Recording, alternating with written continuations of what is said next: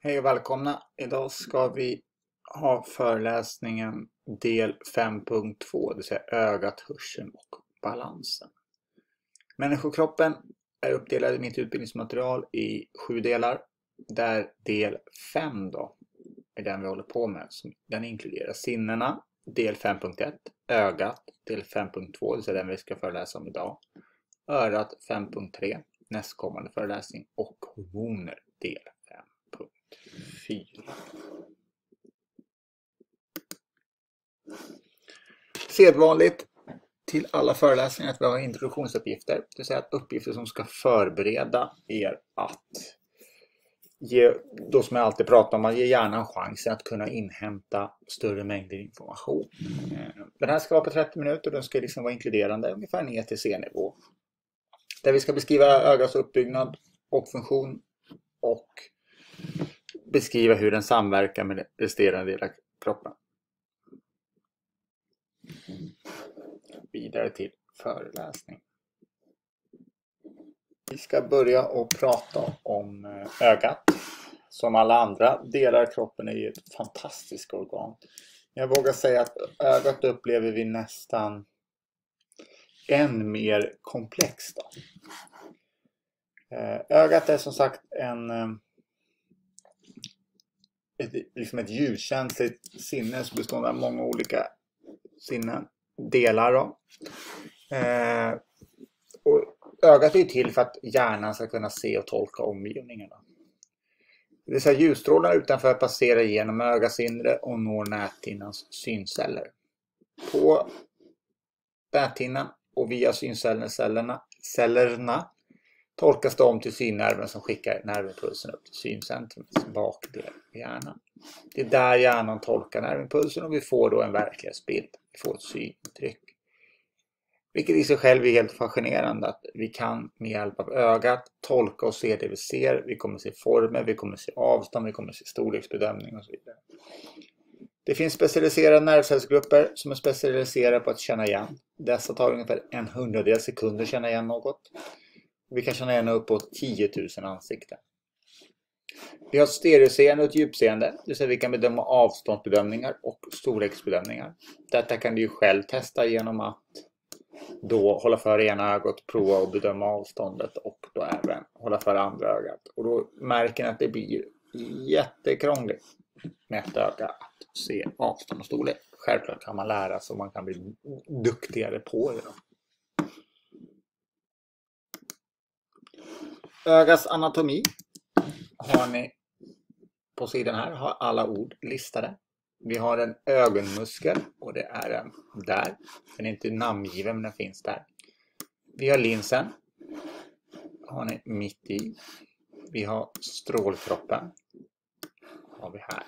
Sen den här lilla biten. Vi har den fantastiska regnbågshinnan.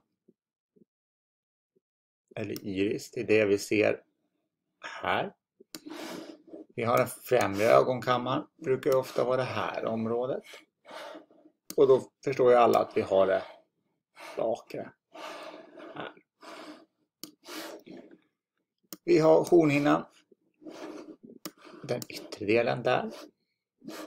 Vi har pupillen, det är den här. Vi har silarkropparna.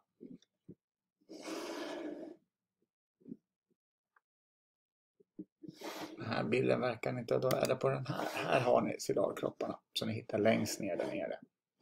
Och de är, på den här bilden är de, är de här nere. Vi har eh, olika hinnor, åder, sen, näthinna. Det är de tre som är där. Olika lager på ögat. Vi har den gula flicken och den blinda fläcken. Här har ni den gula och där har du en blinda.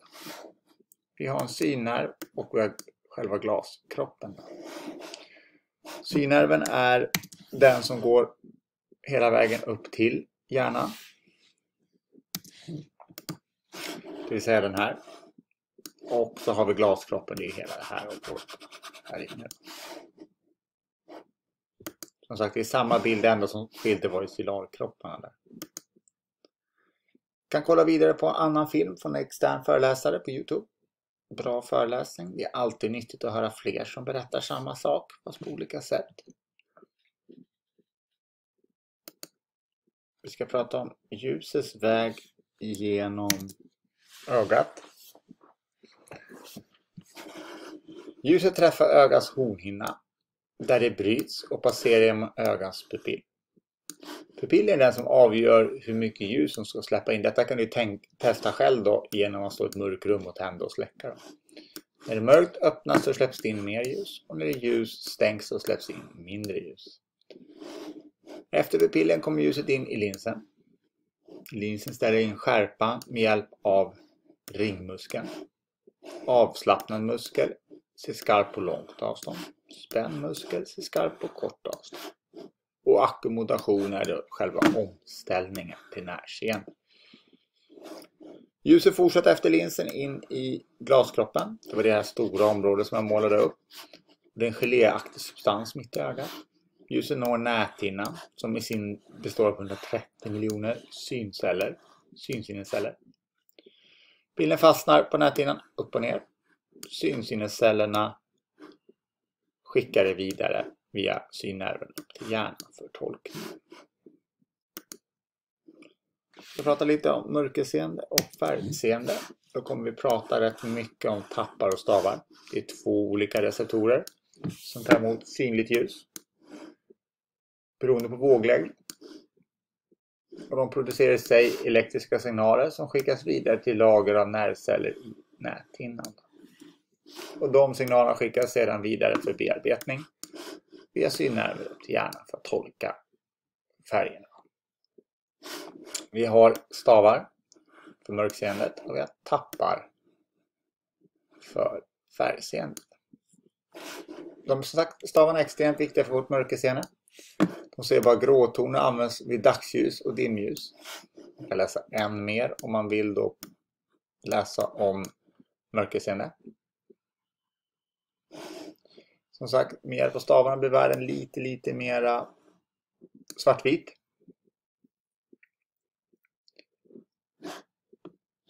Man brukar ofta säga att, när alla, att alla katter är gråa i mörker. Då, gammalt talsätt. Stavarna gör att man ofta ser mycket skarpare, bättre syn i utkanten på synfältet när det är mörkt. För där ute finns det väldigt, väldigt, väldigt, väldigt mycket stavar ute i kanterna. Det tar ungefär för tapparna 10 minuter att ställa om sig in i mörkret och för stavarna tar det uppemot 40 minuter.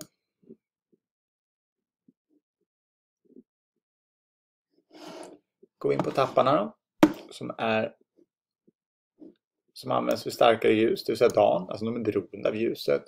Stavarna är mindre beroende och därför du kan då se när det är mörker. Och de uppfattar olika färger. Kan läsa lite mer om det. Framför allt är det i gula fläcken. Där ljuset kommer in i olika våglängder. Ni kan klicka på länken så kommer ni in från powerpointen. Det finns tre olika sorters tappar som är ljuslängder för ljus av olika våglängder. Ljuset de tar emot de här tre olika tapparna stimulerar i olika grad tapparna och behandlas av gangliacellerna i ögat. Sen skickas synsignalen vidare via synnerven till hjärnan för tolkning. Beroende på våglängd hos ljuset och vilka signaler som registreras från de olika tapparna uppfattar vi olika färger. Och färguppfattningen är individuellt. Det vill säga att olika personer kan uppfatta samma färg på olika sätt. Det finns också ljus och våglängder vi inte kan se, det vill säga ultraviolett och infrarött Vårt öga är alltså inte konstruerat för att se. Lite om stavar och tappar. Det är en evolution, evolutionär gåva vi har fått genom att det varit fördelaktigt att kunna se när det är mörkt. Eh, så med hjälp av fullmåne och lägerelden har vi kunnat se relativt bra. Man kan väl ändå göra en skala någonstans hos alla djur. Här uppe ser man superbra. Där ser man ingenting. Och människan får väl ändå någonstans husera mitt i här. Vi är inte superbra, men vi är inte superdåliga. Och den anpassningen är ju på grund av att näthinnan innehåller tappar och stavar. Eh, tapparna, först ut då, återigen. Fungerar bra när ljusförhållanden är goda. I hög synskärpa och kan tolka olika färger. Den gula fläcken innehåller en urgröpning i näthinnan och den innehåller extremt mycket tappar. Och tapparna innehåller det pigmenterade ljusreceptorproteinet som heter isodopsin. Över till stavarna. Som sagt, tapparna var bra, fungerar bra vid ljusförhållanden goda. Stavarna är extremt ljuskänsliga, det är därför fungerar de väldigt, väldigt bra om det är ont ljus. Det vill säga att de reagerar på det minsta lilla ljus som finns. De har ingen hög ljusskärpa, kan inte skilja mellan olika färger. De finns ofta i utkanten av synfältet när ni tittar när det är mörkt. Och de har det pigmenterade ljusreceptorproteinet som heter erdopsin.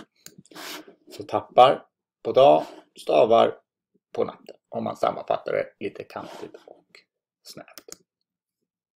Lite bilder på tappar och stavar. Vi hittar dem bak här. Förstorat och så ytterligare förstorat. Här har ni stavar, långa och Båda tappar. Lite bilder för att testa ert färgseende. Sex bilder. Fundera på vad det är ni ser.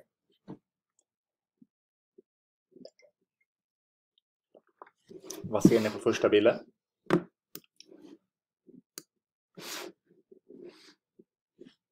Första bilden är en 74. Vad ser ni på andra bilden? En 12. Vad ser ni på tredje bilden?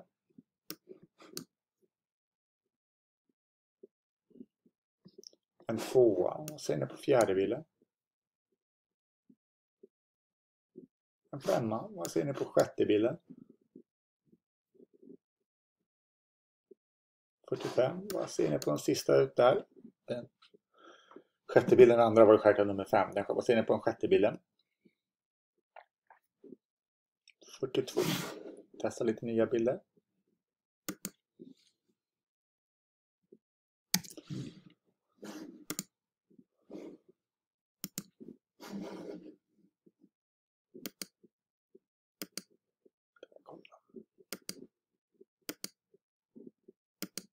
Där har vi fyra bilder. att Fundera på vad är det ni ser där. Där. Vad ser vi på första bilden? Vad säger han där? En tvåa. Vad ser vi på tredje bilden? 74. Vad ser ni på fjärde bilden? 8. Vad ser ni på sjätte bilden? Kan vara lite klurigt. En sexa. Starten där. Några bilder till. Där. Vad ser ni på dessa? Vad ser ni på den? 12. Vad ser ni på den? 33. Vad ser ni på den? 38. Vad ser ni på den? 51. 69.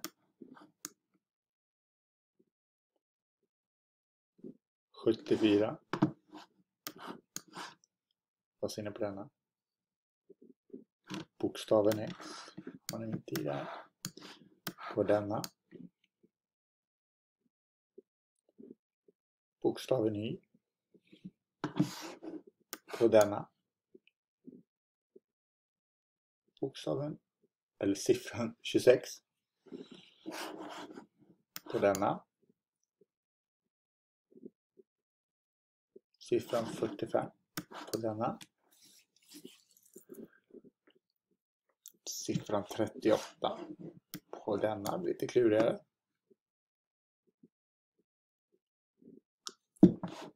Siffran 2, siffran 7 siffra 1 och siffra 9. Så 2719. Vad säger ni på denna?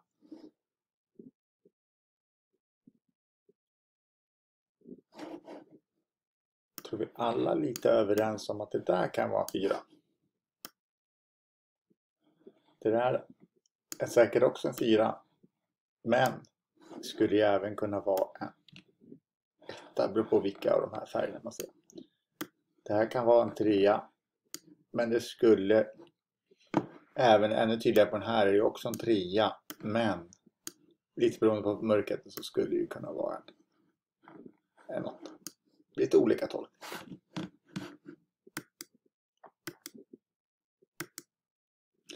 Lite, prata lite färgblindhet. Viktigt att förstå att det är en väldigt sällsynt bit. Det är väldigt ovanligt. Det är mer vanligt att man har olika former av defekter. Det är mindre än 1% av kvinnorna som har och 8% av männen som har defekt färgseende. Det är möjligt att helt sakna tappar i ögat eller brukar det vara mer vanligt att man då har saknar en av de här tre. Då. Någon, av dem, någon av dem saknas. Då. Vill man läsa mer om synskärpa kan man läsa det på länken där. Beroende på vilken så får man en begränsning i färgseendet. De olika tapparna kan även ha en förskjutning av uppfattning av ljus. Det vill säga att färgerna blir inte lika då mot vad normalt färgseende skulle inkluderas. Man kan få suddigare, det blir olikformade färger. Det vanligaste är att man har problem med rött och grönt och det är mycket ovanligt att man skulle förväxla gult och blått. Så det viktiga är att förstå det här att vi har defekter färgsen. Att vara helt färgblind är väldigt, väldigt, väldigt ovanligt. Trots att vi använder det synonymt när vi pratar om färgblindhet.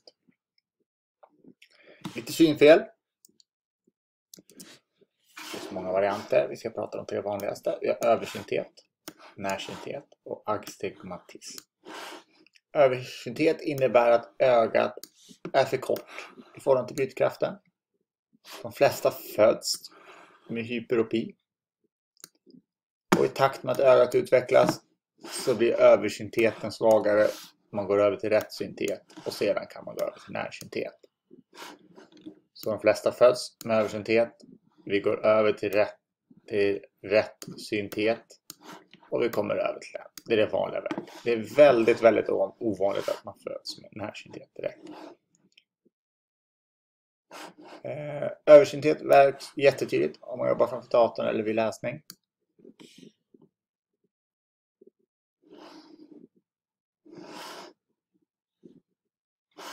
Så den svaga brytkraften, alltså den är liksom är den är för kort i förhållande till brytkraften. Det ger ofta ögontrötthet eller huvudvärk. Då. När man blir äldre så avtar ögats förmåga att ackommendera, det vill säga ställa om sig. Och då påverkas även avståndsskärpan. Närsynthet innebär då att ögat är för långt i förhållande till bildkraften. Ovanligt hos barn, lika väl ska vinna. Brukar ofta uppkomma efter 20-årsåldern. Då pratar man ofta om minusglas och minuslinser. Agstematism är när ögats lins har en kupighet. Det vill säga den är olik vad den ska vara. Det är att ljuset bryts inte korrekt.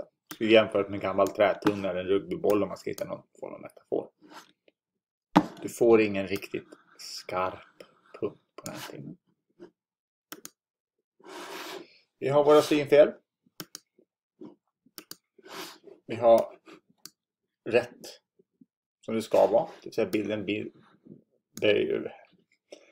bryts och hamnar på näthinnan. Vi har långsyntheten, den kommer bakom.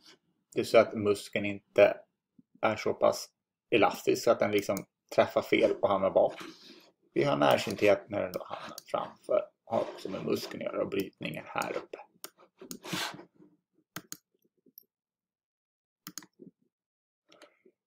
Nu ska vi se så vi kommer rätt. Det finns en liten labb till detta om man vill jobba med. Där vi ska hålla för ena ögat. Till exempel hålla för höger öga. Och titta med vänster öga på krysset. Håll blicken stadigt på krysset. Och långsamt flyttar ansiktet närmare skärmen. Plötsligt så försvinner ringen. Och då har du hittat vänster ögas blinda fläck. Det här märker vi ofta inte genom att vi har två ögon. Då kommer vi inte hitta blinda fläcken. För när blinda fläcken är till exempel på höger så kommer vänster funka och vice versa. Men jobbar man med den här, håll för ena, titta på den andra och jobbar framåt och kommunicera. Och det här stället är en liten punkt på näthinnan som heter papiren. Och det kallas även för blinda fläckar eftersom området saknar fotoreceptorer. Du ser ingenting i den fläcken. Det märks som sagt som jag sa inte i vanliga fall av genom att den kompenseras av att det är två stycken. Och sen har ju även hjärnan möjligheten att fylla luckor i synfält. Åter till balansen. Balansen består av flera olika delar där vi har örat, ögat, musklerna och det som receptorer runt om. Så 1, 2, 3, 4. Örat kommer vi prata på 5.3 så den föreläsningen kan ni ta del där. Inne i inörat så har ni dessa kristaller som känner av accelerationen av huvudet i förhållande till jordens dragningskraft. Det eh, består av lite olika båggångar, insäckar och vätskor. När du rör huvudet så, så kommer vätskan i båggångarna i rörelse och retar sinnesceller och rapporterar upp det till hjärnan. Det är örat. Eh, ögat, den vi har pratat om här och nu då, eftersom det är där vi ska vara. Du märker ganska fort om du tänker för ena ögat att du får sämre balans. Då. Det drabbar många äldre. Någon som är född med det hittar på en egen kompensation, alltså blinda kompenserar upp det. Men generellt måste du ha båda ögonen. Det är den som tolkar och skickar in signaler hur du går, precis som lillkillen där nere i högra hörnet, hur han går när han rör eller någon surfar eller man springer. Och så vidare. Att synen funkar är jätteviktigt för balansen. Man kan testa genom att stå på ett ben och blunda och göra olika rörelser. Örat, ögat, men vi har även receptorer och muskler. Kroppens muskler sitter proprioreceptorer. Eh, dessa eh, proprioreceptorer registrerar hur spända musklerna är och ger då en bild över musklernas läge. Så man får, så man får en spatial uppfattning, till exempel hur armen eller benet befinner sig i rummet. Även tryck mot huden hjälper att hålla balansen. Man får en bild av hur föremålet under är, liksom är format. Så är det tryck på främre delen av foten. Man får bak och kompenserar man genom att luta framåt och så vidare. Så att receptorerna är superviktiga. Man kan träna upp många delar av balanssinnet genom att utföra olika balansövningar. En liten form av färskvara om man tränar inte det här obligatoriska balanssinnet utan eh, tänker mer på specifika balansgrejer. Som killen som surfar. Det är ju en träningsfråga. Det är killen som inte går. De här externa sakerna, de, de måste man träna och underhålla. Men samma är med vårt vanliga balanssinne. Går per automatik. Lite mer om balanssinnet. När, man, eh, när hjärnan analyserar den aktuella balanssituationen Där de använder bland annat olika muskelgrupper och ser hur mycket de spänner sig, hur receptorer under fötterna sitter, hur de upplever. För att kunna tolka just denna aktuella situation. Balanssinnet sänder information till personens hjärna. De flesta delar är helautomatiskt programmerade av mängden muskler, det går per automatik. Och det styrs mycket av det i ryggmärgsreflexerna lillhjärnan och hjärnstammen. Det vill säga ryggmärgsreflexerna, lillhjärnan och hjärnstammen styr i stort sett alltid hela automatiska balanseringen. Och det fungerar hela tiden utan att du är medveten och behöver engagera dig. Har man varit i samma balanssituation innan, då minns hjärnan.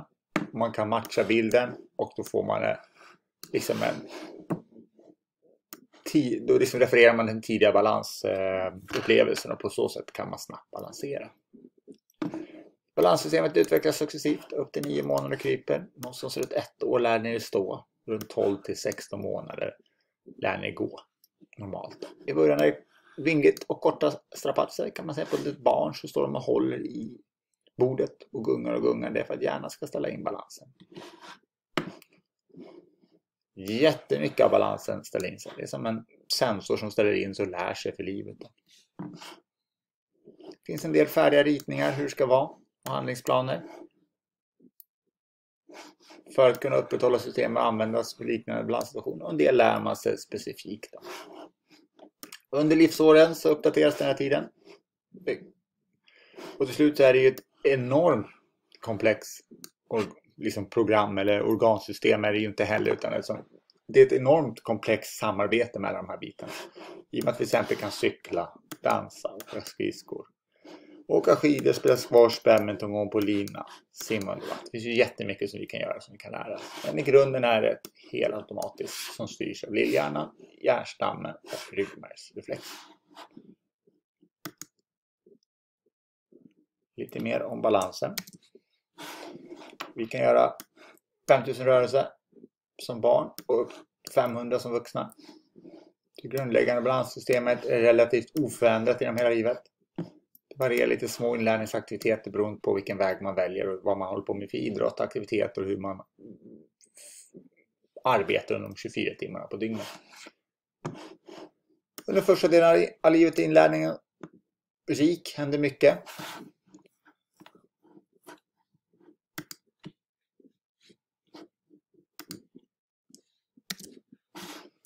Som sagt, som vi sa, under den första delen av livet så händer det jättemycket.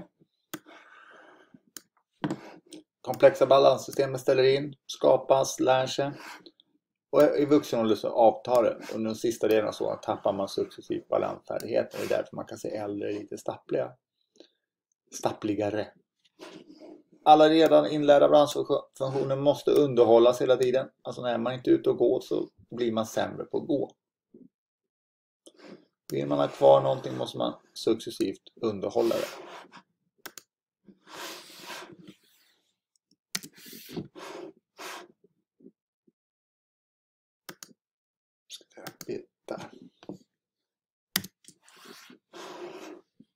Som sagt, balanssystemet är automatiskt. Det inlärda programmet sköter de stora delarna via autopilot.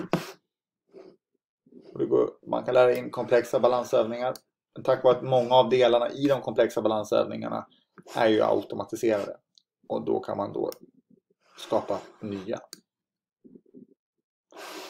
Tjata in det lite. Den är oförändrad nästan hela livet och ni måste ständigt underhålla den. Lite intressant fakta om balansen. Det är det den här karusellen ska visa. Det är lite småhäftigt att vi överhuvudtaget kan stå. För vi rullar ju i stort sett tredimensionellt. Vi har 100 7 km i timmen går vi runt solen. 800 runt Vintergatan och 470 runt galaxen. Det vill säga att vi snurrar i stort sett i tre riktningar. Blir tredimensionell. Och samtidigt rör vi oss på jorden. Och tittar man på det sättet så kan man alltid fundera hur det är möjligt att då upprätthålla en god balans. Det är det de här bilderna ska visa. Självklart är det ju snurrandet runt Andromeda-galaxen lägger inte vi märke till, inte Vintergan och inte runt solen. Utan det är något som sker i vår omgivning hela tiden. Men det är ändå något som balanssinnet måste ta hänsyn till. Till detta har vi frågor. På sidan 292 i läroboken. Vi har lite begrepp, synsinnesnerv, synnerv, syncentrum, hornhinna, pupill, lins, ackommodation, glaskropp och näthinna. Till det finns det även tre frågor. De första tre är vilken funktion har pupillen och så vidare. Tvåan, trean, sen har vi även fyran, femman och sexan. Dessa ska göras så får ni en bild av vad boken tycker. Däremot kan man fylla på med både mer begrepp och mer resoneringsfrågor. Nästa föreläsning är del 5.3, det vill säga örat. Väl mött på denna föreläsning. Hej då!